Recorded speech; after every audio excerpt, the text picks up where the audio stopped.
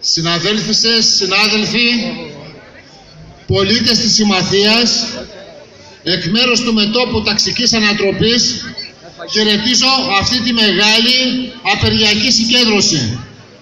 Σήμερα οι εργαζόμενοι στη χώρα, σε όλες τις πλατείες της πατρίδας μας, διατρανώνουμε την αντίθεση και την αντίστασή μας στη βάρβαρη πολιτική της κυβέρνησης Σαμαρά Βενιζέλου στη μνημονιακή λέλαπα της συγκυβέρνησης Νέας Δημοκρατίας και Πασόκ που ισοπεδώνει την κοινωνία, διαλύει το κοινωνικό ιστό, εξαθλιώνει κάθε μέρα που περνά μεγαλύτερα κομμάτια του λαού μας σε μια πολιτική που έχει οδηγήσει τη χώρα και το λαό μας σε βαθιά ανθρωπιστική κρίση, σε μια πολιτική που οδηγεί σε φτώχεια, ανέχεια, εξαθλίωση, ανεργία, αστέγους, μετανάστευσης. Αυτή η πολιτική και αυτή η κυβέρνηση στερείται κάθε νομιμοποίησης διότι πρόσφατα έχει αποδοκιμαστεί και εκλογικά στην Ευρωκάλπη. Αποτέλεσμα αυτών των πολιτικών είναι τα παρακάτω. Είναι τα 3,5 εκατομμύρια πολιτών που ζουν στο όριο της φτώχειας ή κάτω από αυτό. Είναι το 27% και πλέον της επίσημης καταγεγραμμένης ανεργίας με το ποσοστό αυτό να εκτοξεύεται στους νέους στο 62% και στις γυναίκες. Είναι η νέα μετανάστευση και ιδιαίτερα η μετανάστευση των νέων επιστημόνων μας που παίρνουν το ονομάτιό τους και φεύγουν στο εξωτερικό. Νέοι επιστήμονες που σπούδασαν με λεφτά του φορολογούμενου λαού και με τους τεράστιους κόπους και θυσίες των οικογενειών τους και που σήμερα το ελληνικό κράτος και η κυβέρνηση Σαμαρά Βενιζέλου τους διώχνει από τον τόπο τους.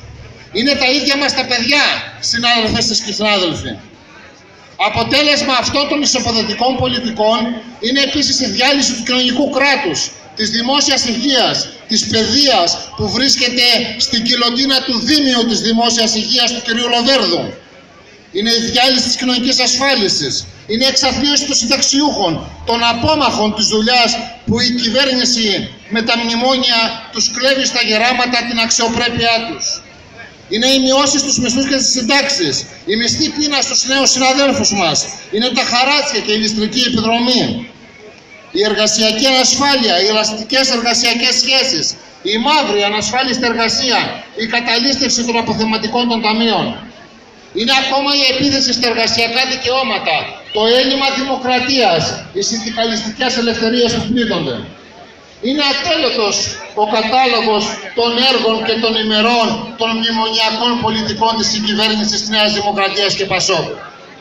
Πριν από τη σημερινή μας απεργία, οφείλω να θυμίσω ότι προηγήθηκαν οι κινητοποιήσεις των μαθητών ενάντια στο νέο Λύκειο και την Τράπεζα Θυμάτων, που ήδη οι πρώτες ενδείξεις δείχνουν πως οδηγεί σε μεγάλη αύξηση της μαθητικής διαρροής και που σε αρκετές περιπτώσεις οι αγωνιζόμενοι μαθητές βρέθηκαν αντιμέτωποι με το αστυνομοκρατούμενο κράτος της κυβέρνησης.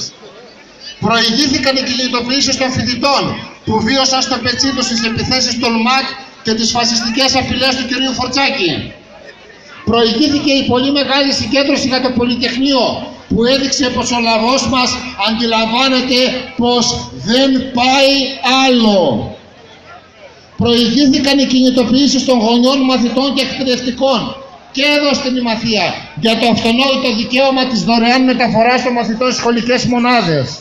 Προηγήθηκε επίσης οι κινητοποιήσεις των εκπαιδευτικών ενάντια στην αξιολόγηση χαραγώγηση, δηλαδή στην προσπάθεια της κυβέρνησης Σαμαρά να επαναφέρει τον παππούλα του επιθεωρητισμού στα σχολεία.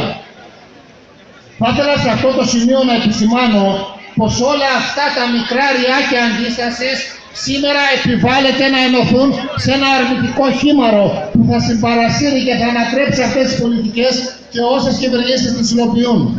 Είναι ανάγκη σήμερα όλα τα σφυριά ενωμένα, συντονισμένα να χτυπούν στον ίδιο ρυθμό, να χτυπούν τον ίδιο στόχο.